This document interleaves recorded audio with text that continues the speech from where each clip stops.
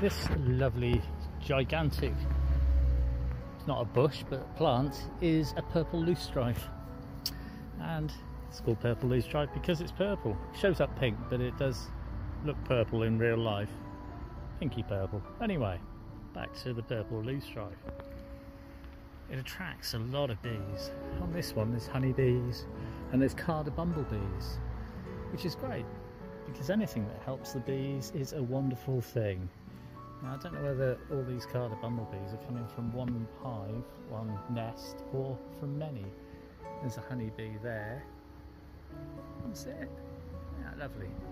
And then these ones are carder bumblebees, and there are a lot of them.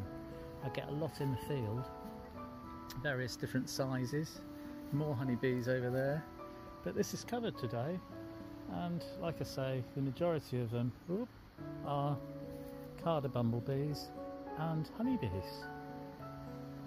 Just wanted to show you them enjoying my purple loosestrife in my field of greens.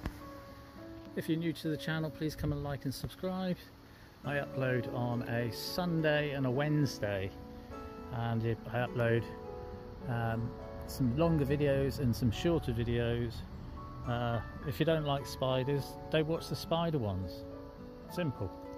But if you like animals and wildlife and bees and butterflies and crows, all sorts of things, then do come and watch it. Cheers. And please like and subscribe. Cheers.